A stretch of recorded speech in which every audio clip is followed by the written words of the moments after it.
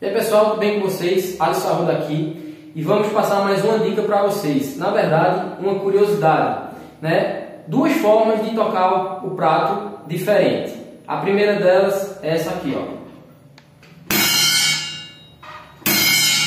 Você toca e corta o som do prato com a sua mão, dá um efeito bem interessante, né? E a outra forma é você tocar na borda do prato, gerando um efeito de harmônico com os pratos, né? Ó. Parece um som de um sino, né? Às vezes quando você está na música, no início da música, quer dar um detalhe a mais ou algo desse tipo, ó. Então é isso, pessoal. Duas formas diferentes de tocar o prato. Valeu!